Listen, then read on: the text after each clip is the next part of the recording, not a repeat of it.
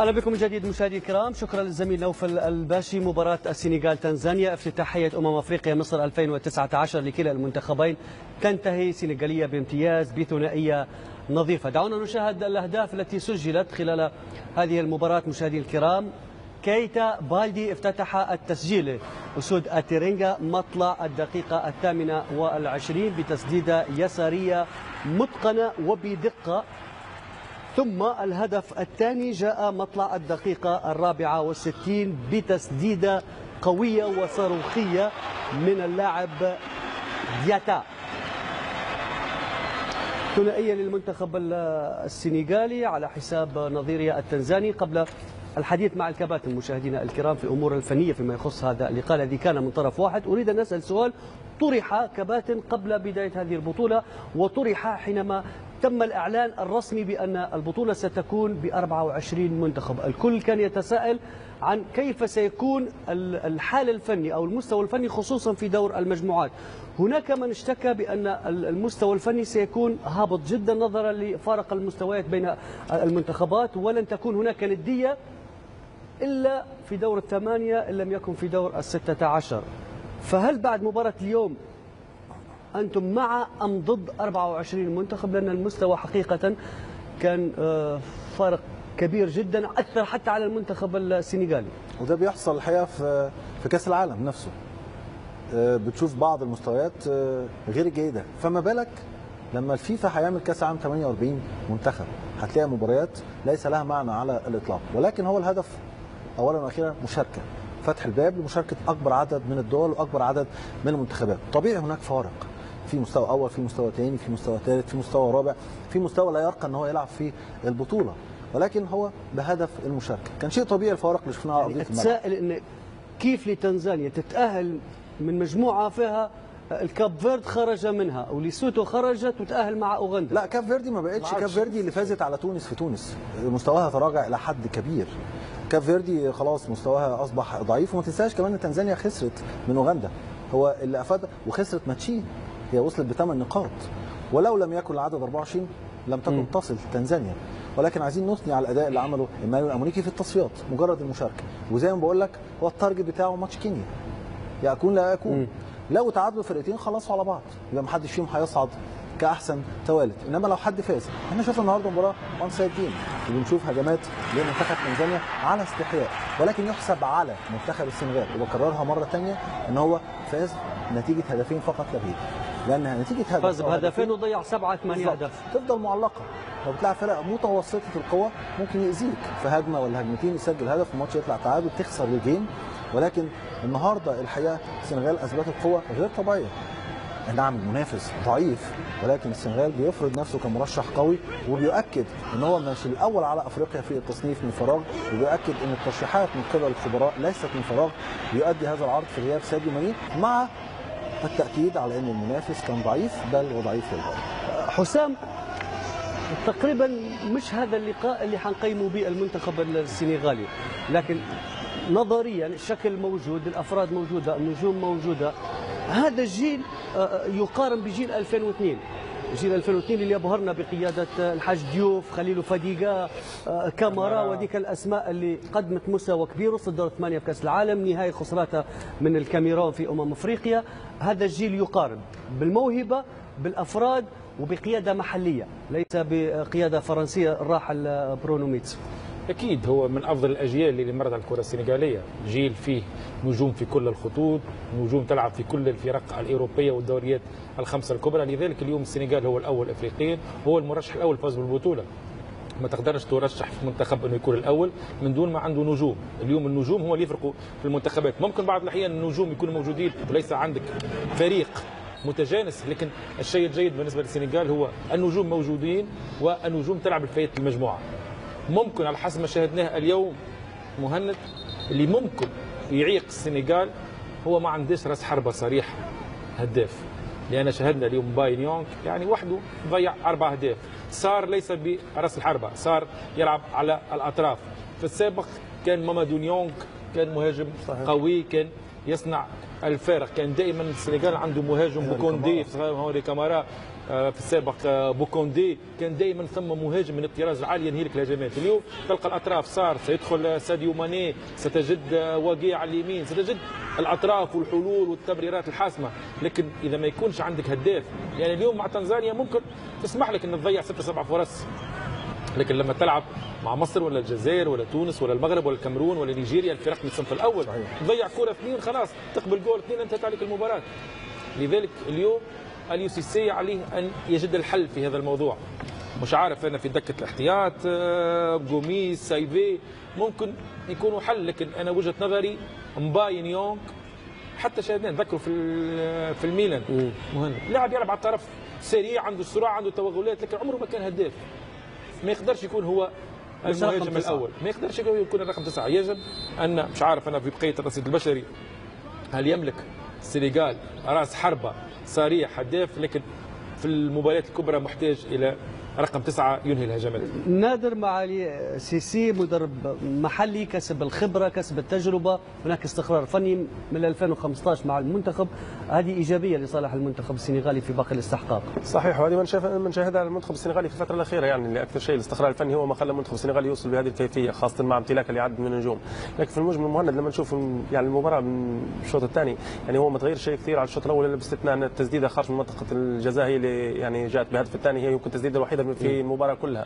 في المجمل السنغالي عنده الحلول زي ما قال لك كابتن حسام وكابتن هيثم عنده الحلول يعني خيارات كبيرة من شو من الرواق الأيمن من الاجنحه من جناح اليمين جناح اليسار من نص الملعب تسديد من خلف لكن دائما ما يلعب عليه دائما زي ما قال لك كابتن حسام اللي هو في العمق الهجومي خاصة من يانج يعني رونا في كمية كبيرة من الفرص الضائعه لكن بما أنه يملك جميع البنية الجسمانية يملكها القوة آه، طول القامة يعني جميع الإمكانيات يمتلكها لكن مش هداف. مش اللمسة من طينه الأخيرة. الهداف يعني ال qualité بتاع داخل منطقة الجزاء من يحول الفرص. طيب كيف يكون الشكل لو ما نرجع؟ شوف أنا الحل وجهة نظري أنا هو كيتا بولدي واللي هو المهاجم. مثل ما كان يلعب في لازيو بعض الأحيان يلعب على الطرف ماني على اليسار. ماني على على اليسار صار على اليمين. وكيتا بولدي هو راس الحربة لأن مهما يكون ليس بالرقم تسعة ليس بالهداف لكن كيتا بولدي لما يدخل 18 يسجل شاهدناه مع الإنتر مع لازيو يسجل مباين يونغ في أي فريق لعبه لعب في ما الجنة ولعب في الميلا ما كلها على يفوتش الأطراف ستة لعب سبعة أهداف. حاليا في رين. ما يعديش. ما يعديش 6 7 اهداف في الموسم. أنا مع الطرح ده مهند اللي بيقوله هو- حسام هو يكون الحل نادر. أنت كمان اتكلمت مع نادر ومع حسام على أليو سيسي. أليو سيسي خلي بالك بالاضافه إنه مدرب كويس كان لاعب مقنع. الجيل اللي أنت اتكلمت عليه في 2002 قائد فريق. كان هو captain team في كأس العالم في كره شخصية واليابان. الكاريزما. بالظبط. وأيضا كان في الفريق كان هو captain team لما خسروا بضربات ترجيح أمام الكاميرون في 2002 كانت السنغال هي الأول على أفريقيا. من وجهة نظري. ولما استلم المهمه من ألان جيريس في 2015 صعد بالمنتخب أنا أجد إن المنتخب يعيش الفترة اللي كان فيها مع برونو ميتسو. وصل كاس العالم. وفاكرين عمل إيه في كأس العالم. أنت عارف السنغال في كأس العالم في مجموعتها؟ افتتاحية فازت على بطل فازت على العالم. بولندا وتعادلت مع اليابان. أنت في 2002 أنا 2002. بتكلم على روسيا 2018 آه، معنا 2018. فازت بولندا وتعادلت مع اليابان وخسرت من خسرت كولومبيا. كولومبيا. وطلعت من البطولة بال fair play أمام اليابان بعدد بطاقات صفراء. يعني كان موقف غريب جدا وكانوا في شدة الحزن. أربع نقاط وبيروحوا من البطولة بفارق بطاقتين صفراويين أو حاجة زي كده. مش متذكر حقيقه ولكن بال fair play خرجوا من البطولة. كان المفروض يكونوا في الدور الثاني.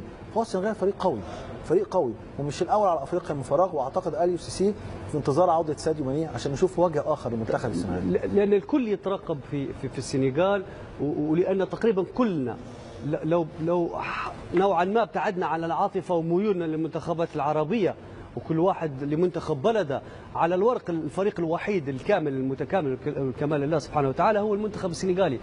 الكل كان يترقب في في منتخب السنغال. اليوم الافتتاحية فوز بثنائية في مباراة أنتم تقف- اتفقتم إنها خارج تقييم بالنسبة للمنتخب السنغالي لكن من المستحيل السنغال بتكون بهذا الشكل أمام المنتخب الجزائري. أكيد لكن ما هو زي ما نعرف إحنا دائما في كومبيتيشن صغيرة هيثم دائما بناخذ تدريجياً. تدريجيا ناخذوها بالتدريج هذا أول شيء. وثاني شيء يعني ما يخدم السنغال والمنتخب الجزائري في هذه البطولة إن هم عندهم يعني منتخبين بمقدور منها يرفعوا من وتيرة اللقاءات مع منتخب تنزانيا والمنتخب الكيني يعني هذا حيكون في صفهم. حتى لو نقلل من شأن هذا المنتخبين زي ما نوهنا يعني معروفة قوة هذه المجموعة في المنتخب السنغالي والمنتخب الجزائري. كنا نتفق. لكن دائما وتيرة المباريات خاصة في المباراه في البطولات هذه هي ما تزيد من رفع المستوى تزيد من رفع اللاعبين والحالة الفنية تدخلهم في فورمة المباريات. يعني هذا كله يعني خلينا نكون واضحين فيما سبق كنا نشاهد كأس امم أفريقيا في شهر واحد. يعني في عز عطاء بعض اللاعبين خاصة لما يرجعوا من آه، أنديتهم. لكن في الفترة هذه هيتم كلها في يعني. نهاية الموسم. إرهاق. ارهاق بعد موسم منصرم. يكون موسم كبير من عدد المباريات. يجيك يعني صعب اللاعبين هذو خاصه ينشطوا في أفضل الفرق في أوروبا.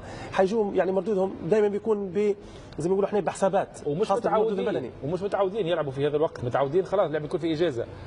متعودين دائما البطوله في شهر يناير. هذا تغيير. ونعرف إحنا اللاعب أي لاعب صحيح يحب يلعب كأس أفريقيا فيش لاعب ما يحبش. لكن اللاعب كذلك بعد موسم مرهق يحب ياخذ شهر من الراحة. يحب يتنفس يحب يروح. يحب يتفسح خصوصا إن هو عائلته. السنة اللي فاتت خلاص في ما ريح. كأس العالم. نفس ال- نفس اللي حصل السنة اللي فاتت نفس نفس. الصيف لعب في كأس العالم آه. فأجازته كانت قصيرة ما خدش الراحة السلبية اللي تمكنه من هو يعمل استعادة شفاء فيه فيه ويرجع ملل. أكيد فيه ما ملل حتى المدربين حيكون لكن- عندهم حسابات لكن في أيضاً- مشاركة اللاعبين إلى جانب كل هذه ال- ال- ال- التفكير في في ذهن اي اي أي نجم هناك لاعبين آه، آه، يسعون وراء لقب مثل ماني لأنه في تحدي مع نفسه وفي تحدي مع محمد صلاح. والكرة الذهبية. هداف ال- ال- ال- الدوري الإنجليزي ب 22 هدف مناصفة مع اوباميانغ ومحمد صلاح ينافس على الكرة الذهبية ال- ال- الأفريقية ويقرب أيضا من كوكبة المنافسه على الكرة الذهبية العالمية. العالميه لما لما لا. طموح مشروع وده حقه لأن الحقيقة كان بيأدي أداء طيب جدا وصلاح خطف منه البالون دور في أفريقيا في موسمين متتاليين. السنة دي بيأدي أداء طيب عمل مباريات رائعة في ال Champions League. بتكلم عن ساديو ماني هداف ال Premier League هو صلاح واوباميانج زي ما أنت ذكرت. فهتشوف وجه مخالف لساديو ماني وهتشوف لأسود التيرانجا وجه مخالف لما يرجع هذا النجم الكبير. خصوصا حسام نادر لما نشوفه حتى على صعيد الأفراد مثلا كوليبالي أفضل مدافع في في في إيطاليا مش في إسبانيا ولا في إنجلترا في, في إيطاليا. فهذا حسام تتحلل في الدوري الإيطالي. الدفاع. انت تأخذ أفضل مدافع في في إيطاليا اللي اخترعت الكاتيناتشو هذا دليل على quality آه، اللي عند السنغال ما عندش منتخبات ثانية في أفريقيا. أكيد quality كبيرة. كوليبالي وجهة نظري من أفضل ثلاثة أفضل مدافعين في العالم. مع فان دايك ومع ديليخت في الوقت الحالي. هذا من الثلاثة الأفضل. ممكن ديليخت أصغر شوية لكن كوليبالي اليوم يمتاز ممكن على الآخرين. بمهارته الفنية وصعوده مسانده الهو- الهجومية. لاعب من الطراز العالي. اليوم لما تسمع عندي مانشستر يونايتد وريال مدريد واليوفي والجماعه الكل وصلوا ل 120 و 130 مليون يورو في قلب دفاع عمره 28 سنة. تعرف ال quality وقيمة هذا اللاعب لما يكون في منتصف الملعب. عندك لاعبين مثل ماني مثل جاي لأن نتكلموا دائما على المهاجمين. لاعب ارتكاز سوبر في افتكاك الكرة في صناعة الهجمة كدور تكتيكي. لما يكون عندك كيتا بالدي على على الطرف سار على الطرف الآخر يعني فنيا المنتخب السنغالي فريق في متكامل. في القمة. ومستواه سيرتفع مع قيمة المنافس. سأعود لمباراة السنغال وتنزانيا. فقط أريد أن أنوه مشاهدينا الكرام أنه بإمكانكم في هذه الأثناء متابعة مباراة منتخبنا العربي القطري الذي يلعب أمام المنتخب الأرجنتيني. ويبدو أنه متأخر في النتيجة بهدف للاشيء يمكنكم متابعة هذا اللقاء عبر ماكس 2 وكذلك ماكس 4 طيب أعود لمباراة ال- السنغال. بعد بعد تنزانيا أصبحت نشك في باقي المباريات المنتخبات الكبيرة مع المنتخبات المتواضعة يعني. هل نحن أمام نادر أن ننتظر دور 16 على أقل تقدير حتى نشوفوا الكوره الأفريقية اللي تعودنا عليها اللي هي الاندفاع البدني الالتحامات السرعات الأهداف؟ لا بالعكس مهند ما شفناه يعني ابسط مثال شفنا مباراة امبارح كانت منتخب نيجيري ضد منتخب بورندي يعني. شفنا منتخب نيجيري فاز بصعوبة جدا مهند. مش بمعنى إن معيار أو المنتخب التنزاني اليوم يعني يغير من بالعكس فيهم مباريات يعني دائما ما يكون الضغوطات على المنتخبات الكبيرة خاصة يعني أنت مع منتخب- 24 منتخب. حتى زي ما قال لك هيثم اعطاه فرصه لمشاركة بعض المنتخبات حتى تبين نفسها. يعني لما نشوف المنتخب الأوغندي يتفوق على المنتخب الكونغولي يعني خاصة الكره الأوغندية والتطور في الفترة الأخيرة هذا يرجع لك إنه كل ما تعطي فرصة للمنتخبات هذه كل ما وجهة. نظر المخالفة آه، نادر شنو تقول؟ تقول ان أمم أفريقيا هي صفوة الصفوة مهند. وه- مهند. والتحدي يكون في تصفيات أمم أفريقيا نفس موضوع اليورو بالضبط بالضبط. لما أصبح اليورو زادوا أنت عدد مع ولا الفرق. ضد حسام؟ شوف عشان نفهم أنت مع أم ضد؟ لا هو أنا لا مع انك ان بتوين لا إنك في قارة من حق الناس الكل إنها تشارك لكن إذا تتكلم على المستوى الفني بحت